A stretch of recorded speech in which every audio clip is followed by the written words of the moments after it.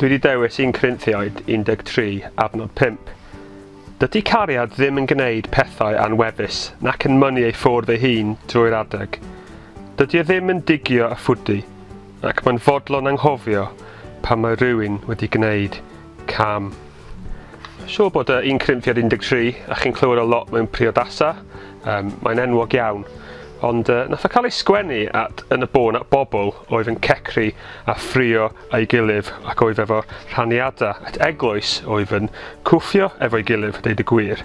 A dwi'n credu uh, bod hynna'n berthnasol i ni heddiw yng Nghymru. Dyn ni'n bobl sy'n gallu cwffio a cecri efo'n gilydd ac yn anffodus hyd yn oed o fewn eglwysu. Mae mor hawdd uh, mewn eglwys i bobl trio pwysio agenda nhw ar bobl eraill, a trio mynnu ffwrdd y hunain, da ni gallu angytuno efo pobl mewn ffwrdd eitha cas ar adegau. A mae'n ddad, mae'n adod yma yn heru ni o newydd o sut mae dangos cariad diw tuag at bobl. Dydy ddim bob amser yn hawdd i ddod ymlaen efo brod eich chwaraeorydd, Cresnogion eraill, a hyd yn oed efo pobl eraill. Dyna ni gyd efo'n gwahaniaethu ni. Dyna ni gyd yn gallu brifo'n gilydd a mynd dan groen yn gilydd weithiau.